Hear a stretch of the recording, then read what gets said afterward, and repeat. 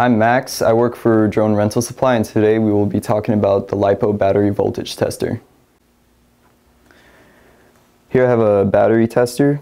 Um, it'll come in a nice Ziploc bag like this uh, when you order it from us. Uh, behind the speakers up here you can see there's a button that allows you to change the voltage alert. Uh, right between the speakers you can see a little LED light. This uh, LED display will show you how much power you have left in the batteries. And with these pins you can check up to 8 cell batteries and we will show you how that works. Here I have a 3 cell battery and I'm going to test it with this battery tester. First thing I'm going to do is connect it. When you're connecting it you want the uh, ground wire, which is this black one, to be on the very first pin.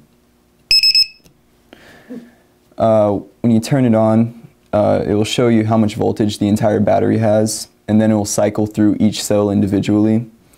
Uh, back here, this button, it allows you to change the minimum voltage before it alerts you. So let me set it to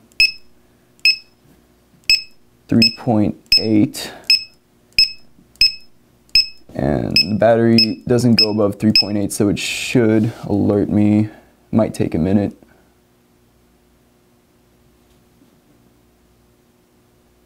Yeah, there we go. And then to turn it off, you just take it off here.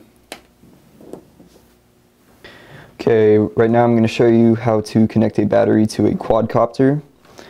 Here I have a full battery. I'm going to connect it to my battery tester here. You want the ground wire to be connected to the first pin. Personally, we set it to 3.4 volts.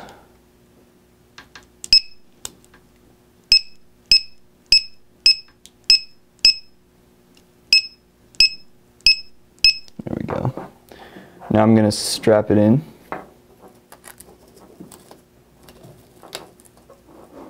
Like so.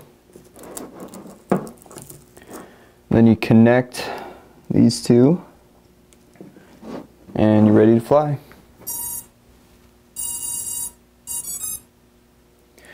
Thank you for watching our video. If you have any questions, you can leave them in the comments below. Please subscribe to our channel and have a good day.